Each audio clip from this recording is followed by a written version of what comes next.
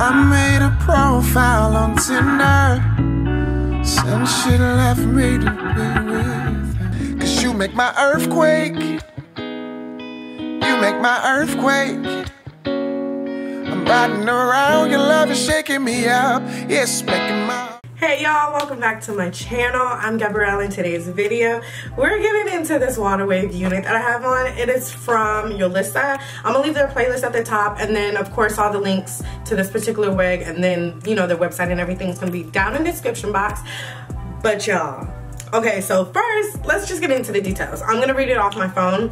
This is their 427 piano highlight water wave wig, 22 inches, and it's 180% density on an average cap size. Okay, so the color love it. I, I just love the highlights. I, I like the color with this wavy texture. I don't think it's perfect but you're not about to clock me. Like it looks good. You're not about to clock me. Uh, when it comes to this lace I do like it. Um, I did end up using my True Match lace concealer um, tint lace tint um, and tan and I have been using that a lot lately. I could have just got away with doing a little bit of some makeup because the lace was already medium brown which I like my wigs to come in medium brown okay it just makes my job easier. Um, I did have to pluck this unit, but it wasn't really a problem with like laying the baby hairs because sometimes if the knots are a little bit too big, it just looks, it looks really weird. Um, so I didn't have that problem.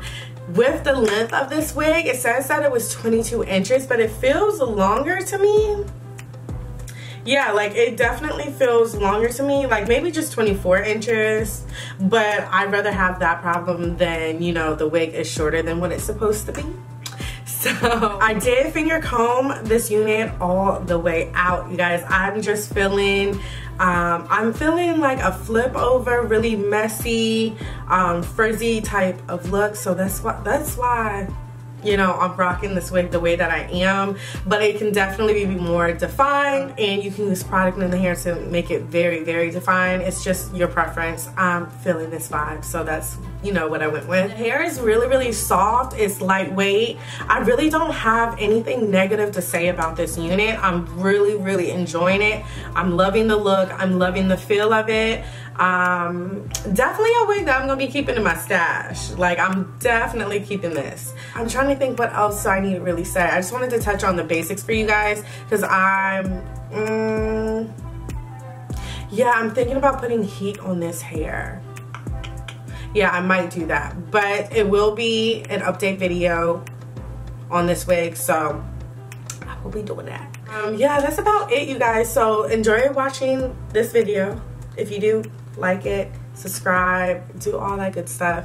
And I will check y'all out in my next one. Bye.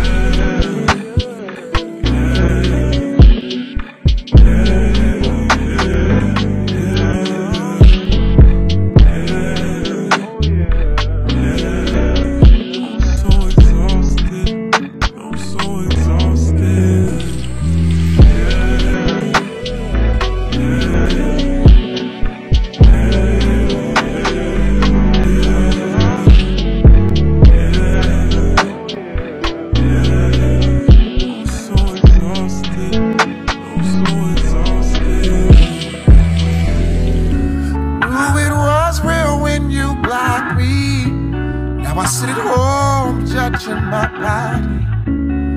Wondering what I did to lose you. Why in the hell? you ain't choose me? Why you?